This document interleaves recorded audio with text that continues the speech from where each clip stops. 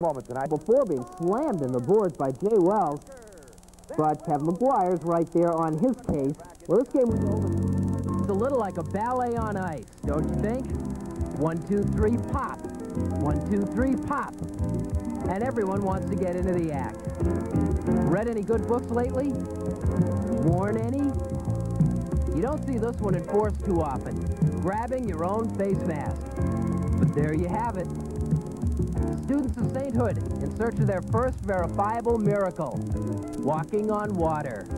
No one has fear of failing when you can't succeed anyway. Which has to be how Keith Hernandez feels, stuck here between the bases in the rain.